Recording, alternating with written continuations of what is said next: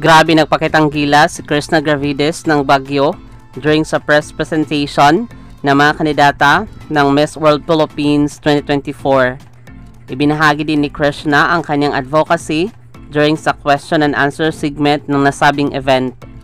Isa din siya sa frontrunner ngayong competition at sana masungkit niya ang corona ng Miss World Philippines 2024. At ano kayang magiging placement niya? Ang Miss World Philippines or ang Rina Hispano-Americana? Abangan na lang natin sa Grand Finals ng nasabing competition. Um, growing up, I was impoverished, so I felt like I missed out most of my childhood because I had to work.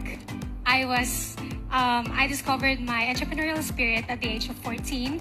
I was selling Liptons, flavor drinks, bags, and even clothes. And I also worked as a fast food chain server.